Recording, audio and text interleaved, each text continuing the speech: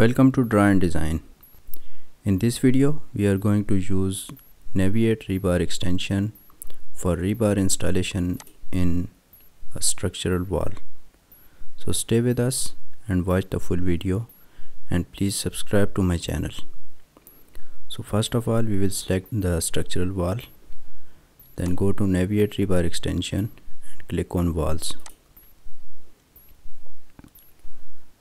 In the geometry section, we have the basic information of the retaining wall, the thickness of wall, the length of wall, height of wall, number of openings in our wall, and the level of retaining wall, offset from base, offset from top, everything is available. The method of generation of main reinforcements shall be the structural area reinforcement so this will show in the group. So we can select uh, all the rebars collectively. In the structural rebars all the rebars are, are uh, individual rebars and we have to select one by one. So we are going to select the structural area reinforcement. Next we are going to install distribution bars.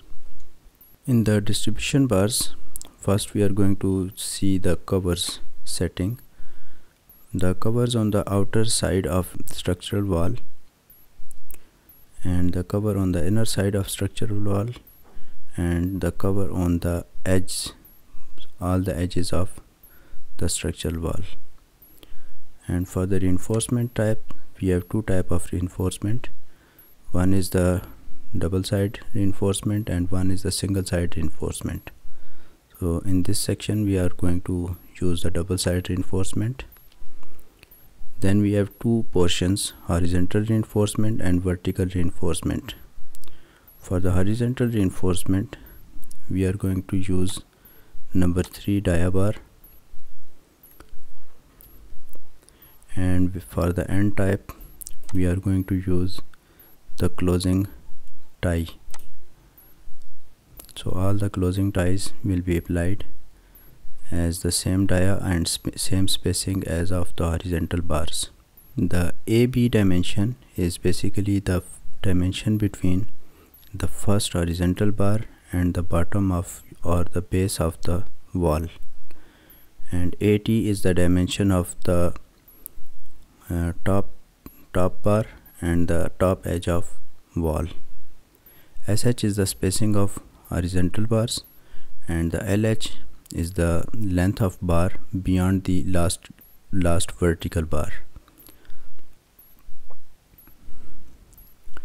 For the vertical reinforcements we are going to use number 5 rebar and for the end type we are going to use the same vertical bars with no hooks and no and tie. For AT and uh, AR AL and AR uh, we are going to use the dimensions uh, from the uh, last edge of uh, last edge of the wall to the last vertical reinforcement. So this will be in our case this will be 6 inches and 6 inches. And for the AB we are going to use 3 inches and 3 inches. And for the spacing we are going to use 7 inches. And for the LH we are going to use 6 inches.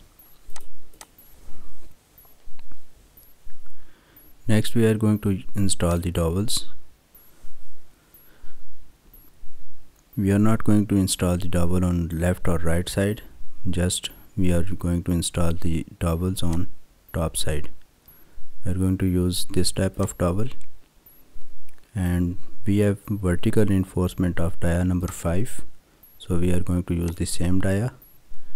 And for the overlap length we are going to use 3 feet and 6 inches. Also 3 feet and 6 inches. 3 feet and 6 inches will overlap with the bottom bar and the remaining 3 feet 6 inches will overlap with the next wall vertical bars. Next we are going to use the pins. For the pins we have to check this checkbox. Then the pin option will be available.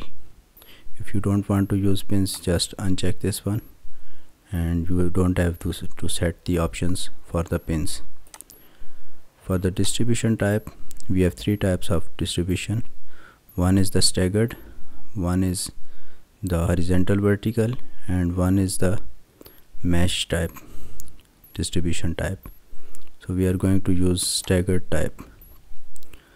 We have to provide these two spacings SSH and SSV for the SSH we are going to use 4 and for SS SSV we are going to use 4 this means after every fourth rebar the tie will be installed.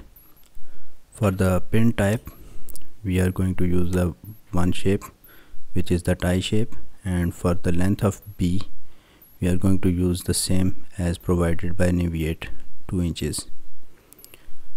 Next in the seismic reinforcement on the both side of openings we have to provide column shape reinforcement this is called seismic reinforcement. So we have to check the seismic reinforcement option.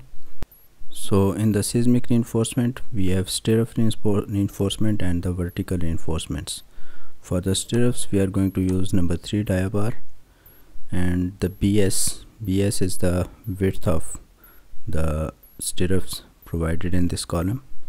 So for the BS we are going to use 1 feet. And for the SS which is spacing of the stirrup we are going to use 4 inches. And we are going to use the seismic tie 135 degree. For the vertical reinforcement we are going to use number 6 rebar and two bars on both side. Two bars on the left side and two bars on the right side. Next we have to click on ok. And this will generate the rebars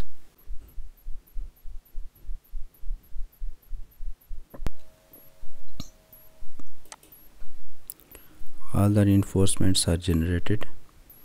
As you can see on the openings both sides the seismic reinforcement is provided and the ties are also provided on both sides let's look it in the 3d view. So we have this reinforcement installed in the retaining wall so vertical and horizontal reinforcements are installed in the area reinforcement shape and the remaining reinforcements are installed separately. Let's look at in the wireframe view. Our ties and the horizontal vertical reinforcements are completed. We have the tie on the edge. We have the spacing rings and everything is complete